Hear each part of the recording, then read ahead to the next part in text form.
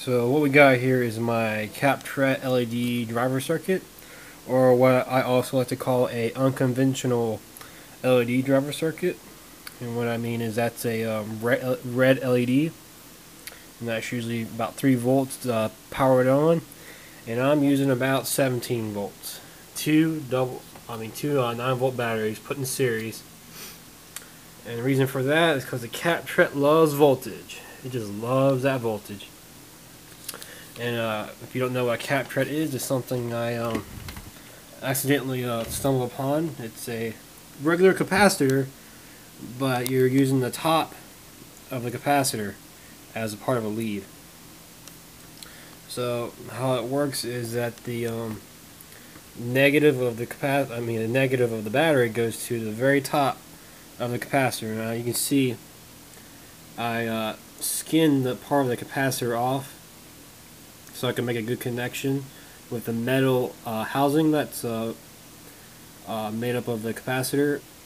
And we go from there to the positive of the battery going to the positive of the uh, capacitor. And the positive of the LED goes to the positive of the capacitor and the negative of the LED goes to the negative of the capacitor. And you get light. Pretty amazing your uh, textbooks would say this well actually would not even make mention of this. It's uh, unconventional.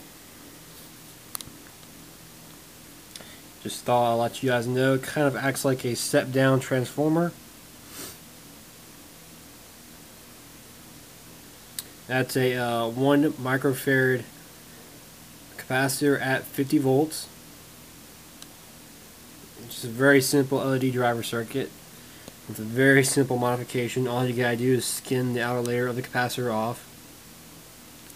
It will work with one 9 volt battery. I just gives off better light with two.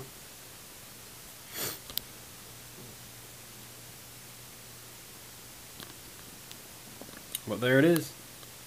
That's the heart of it. And it's running that red LED.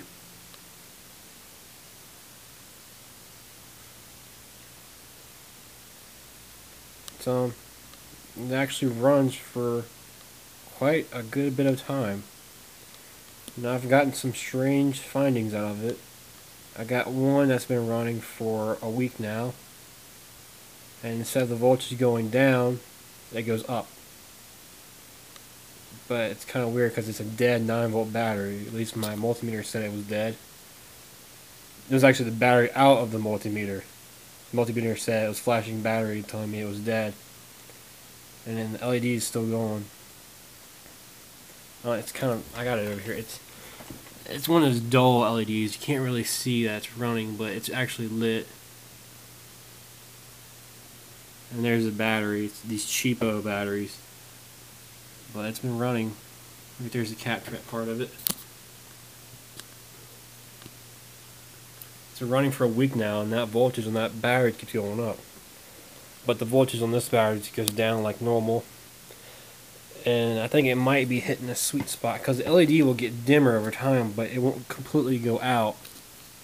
I think it hits a sweet spot where it'll just stay there, stuck. And the reason why I'm hoping that is because when you hook a capacitor directly up to the battery, the capacitor will fill up, and once it's full, will become an open circuit, which means uh, the power shuts off and the battery doesn't get drained anymore. And I'm thinking what's happening is these LEDs are getting to that sweet spot where it still can run, but not drain any more power. Because you can see that capacitor is not directly hooked up to the battery. It's connected to the cap trap part of the capacitor. So just unique finding, really simple to build, and a fun little experiment.